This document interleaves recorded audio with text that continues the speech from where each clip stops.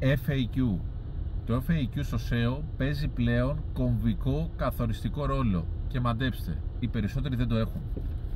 Είναι πολύ σημαντικό λοιπόν το FAQ, τα Frequently Answered Questions, δηλαδή οι πιο συχνές ερωτήσεις που απαντώνται, διότι κατά κύριο λόγο δείχνεις ότι είσαι επαγγελματίας και γνώστης στον κλάδο σου, δηλαδή γνωρίζεις τι ψάχνει και τι απασχολεί τον υποψήφιο πελάτη σου και του το απαντάς.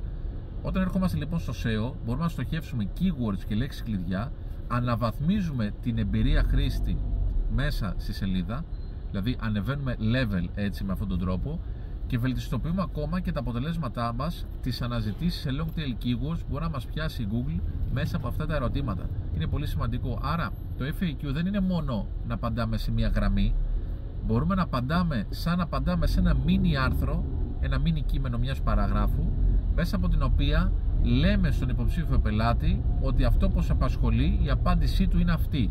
Άρα μέσα σε 5 με 10 ερωτήσεις max μπορούμε σε πάρα πολλά pages να στοχεύσουμε και να χτίσουμε ένα FAQ όπου με αυτόν τον τρόπο αναβαθμίζουμε και ανανεώνουμε το περιεχόμενό μας.